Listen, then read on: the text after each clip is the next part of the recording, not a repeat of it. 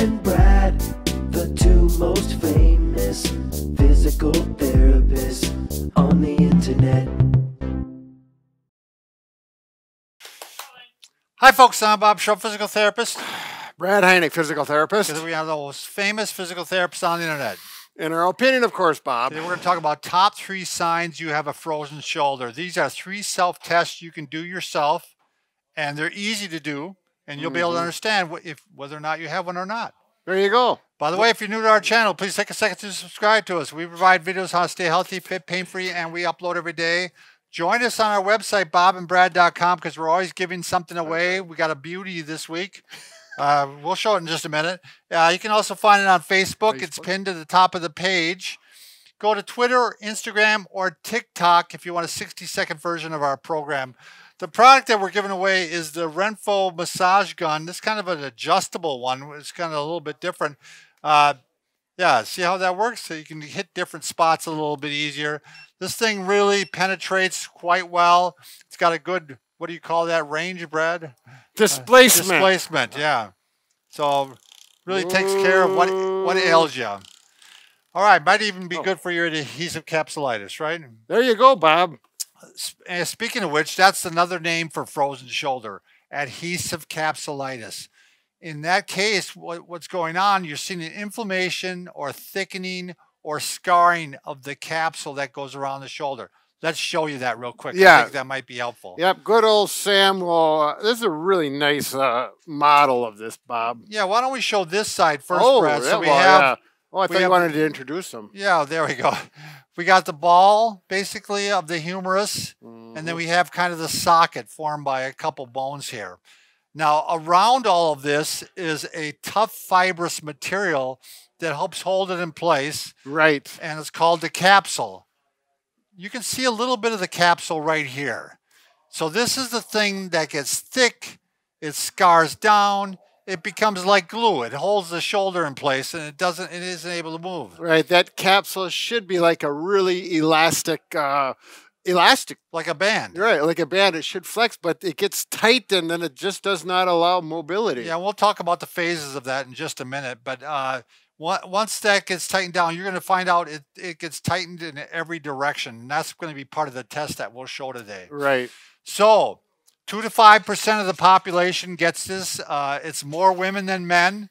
Uh, it's increased among people who have diabetes. Mm, Uh, it's also in, you have increased likelihood if it happened to one shoulder, it's more likely to happen to the other shoulder. You know, that's with other diagnoses too, but that's another story. Yeah.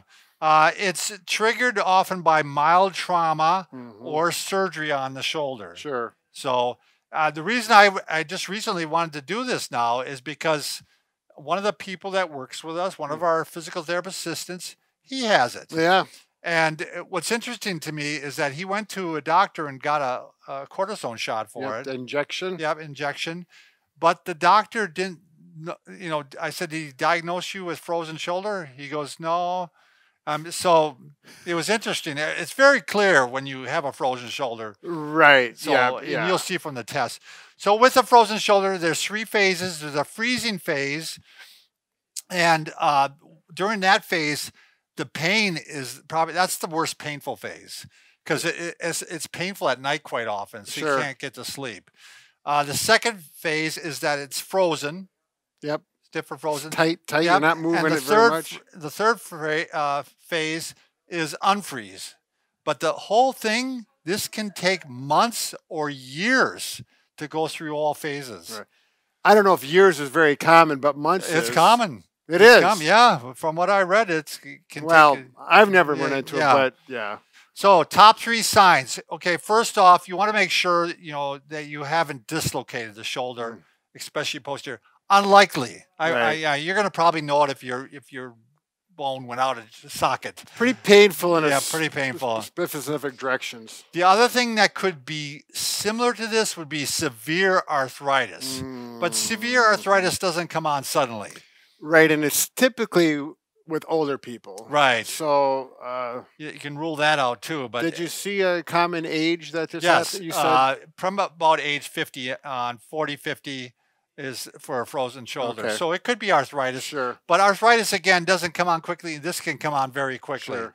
Uh, uh, arthritis comes on very slowly, and you pretty much know when you have arthritis. Right. yeah. So, all right. So the first thing you're going to do is you want to check what we call active range of motion of the shoulder. Mhm. So the, the three signs are going to go three different directions. The first one, Brad's going to show from the side, is we're going to do flexion. And, you know, if you can only go up like this high, and if you're having trouble raising it, uh, that might be something else then. But Yeah, usually frozen shoulder, from my experience, it, goes up and it just wants to stop. Yeah. It's not real painful going through there, but it, it doesn't right, go. it doesn't And want then to go. if you try and push it or help it with the other hand, it still doesn't want to go. well, you're, you're giving I'm sorry, here. Bob. You're jumping I, ahead here. I jumped the gun. I jumped the gun. So the next one is abduction. So you, you, it's going to be limited in this way when you lift it up. When you lift it up on your own, it's going to be limited this way. And then when you put your arm at a right angle, the elbow, and then you try to go out. This is the one that tends to really be limited, Brad. Mhm. So like this is average going way out here. You might only be able to go to here sure. you can't get any, any you know any movement hardly at all this is the key though because there are other things that can cause you to be limited this way Right. uh, you know a torn rotator cuff but if you now take a stick or a, a yardstick or a broomstick or a Booyah Stik Sure. and you're going to use the one arm to help the other. So now you're going to check flexion again. And in this case, if it's a frozen shoulder, you still won't be able to go any further than you did before. If you, it's not frozen, you're going to be able to lift it. Right, like impingement, which is a very Right. common.